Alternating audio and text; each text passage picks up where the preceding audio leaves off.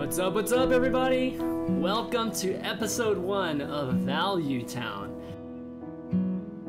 Running through the heat, heartbeat, you shine. All about coaching. This the show is all about learning how to play Hearthstone better. And what we do is we bring on playing the tournament, the TL Open number one, which I won. Yes, yes, I actually won. Can you believe it? Hey, everybody, what's going on? Welcome to episode number one of Unfiltered. Don't worry, I'll introduce her. Drunk, but uh, oh, yeah, baby, unleash the hound.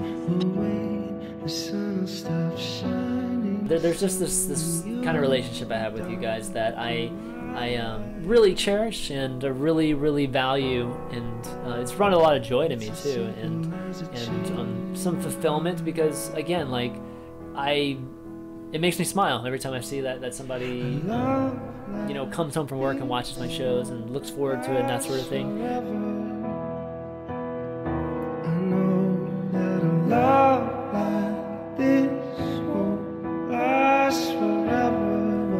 I still love Hearthstone. I just love the game, guys. I, I play it a lot, you know, because I don't play it a lot just because I do shows for it. I play a lot because I love it too. Now, guys, that's going to be it, and I will see you next time. Later.